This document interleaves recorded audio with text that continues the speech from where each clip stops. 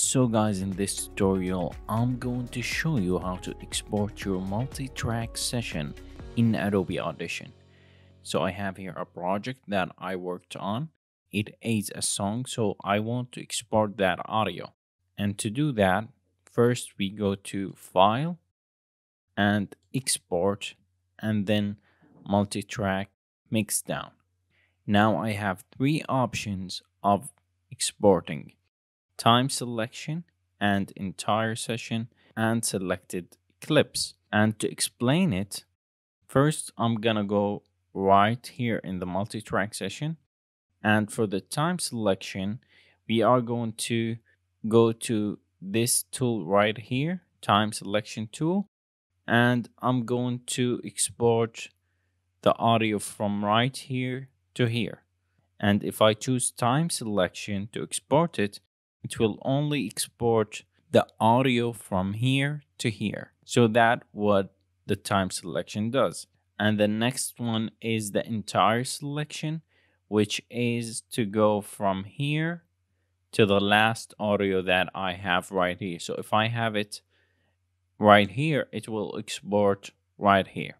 And the last one is the selected clips. The selected clips is where you select multiple audio, let's go to the move tool and press on this clip right here and press control and go to another clip and another clip.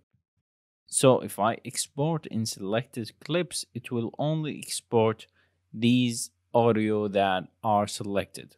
So now that we have understood the three options that we have, I'm just going to drag this clip right here and I'm just gonna go back to the time selection tool which I really prefer when I export.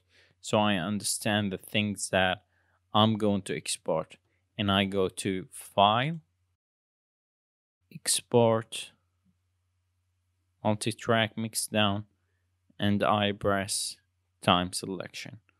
And this window will pop up. So it's going to prompt me a name so let's name this song one. And on browse, you can choose the file that you want to export the file in.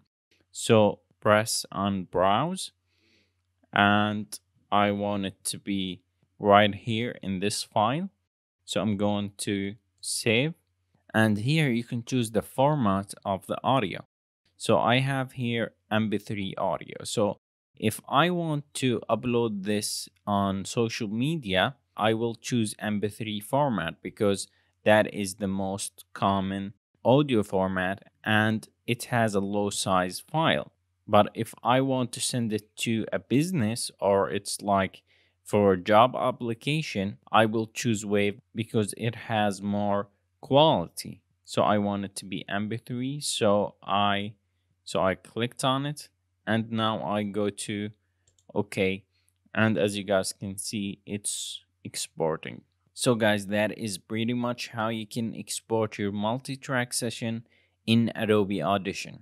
I hope this video was helpful for you and I would really appreciate if you can smash that like button for me and I will see you in the next video.